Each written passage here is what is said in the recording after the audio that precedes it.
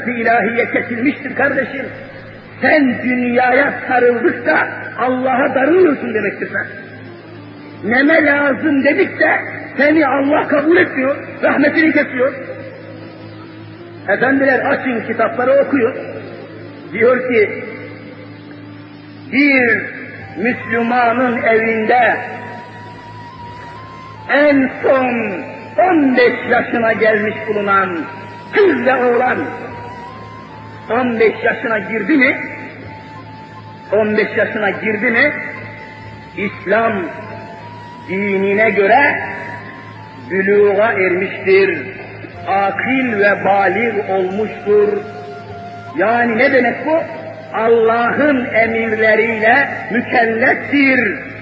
Allah'ın yasaklarıyla mükelleftir. 15 yaşına girdi mi en son, daha evvel de büluğa erebilir. Erginlik çağına daha evvel de erişebilir bir insan. Sıcak ülkeler, coğrafya farkları, iklim farkları. Ama en son 15.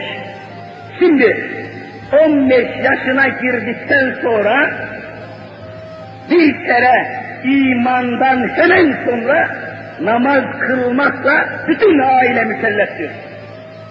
Bütün aile, İslam ailesinden bahsediyorum. İslam ailesinden, Müslüman bir aileden bahsediyorum.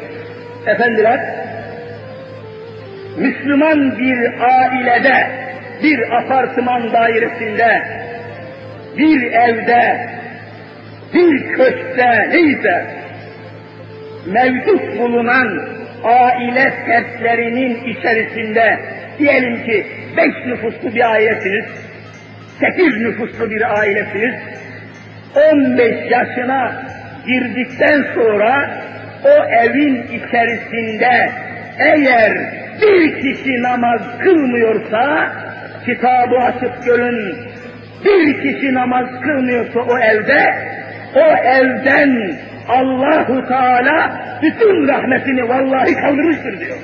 Rahmet kalkmış bu evden.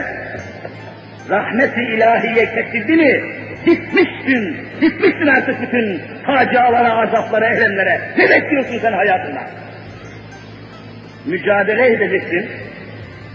Namazı kıldırıncaya kadar mücadele edeceksin. Eğer senin hanımın namaz kılmıyorsa mücadele edeceksin. Allahu Teala buyuruyor ki, ey Müslüman erkek, senin hanımın mazeretsiz namaz kılmıyorsa, onunla mücadele et diyor Allahu Teala. En azından ona nasihat et. Nasihatı dinlemiyorsa akşamları aynı yatakta yatma.